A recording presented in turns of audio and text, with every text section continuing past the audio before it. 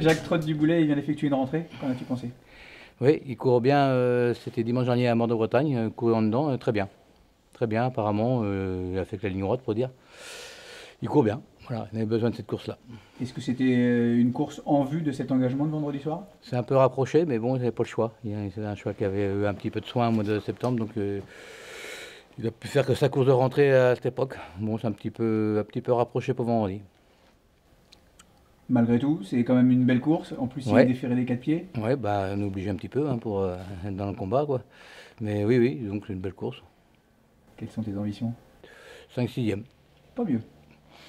faut être heureux, faut que ça se passe bien en dedans, parce qu'il y a quand même deux, trois chevaux que j'ai vus qui sont, pour dire, imbattables. Donc, euh, ouais, quatrième, cinquième, sixième, quoi.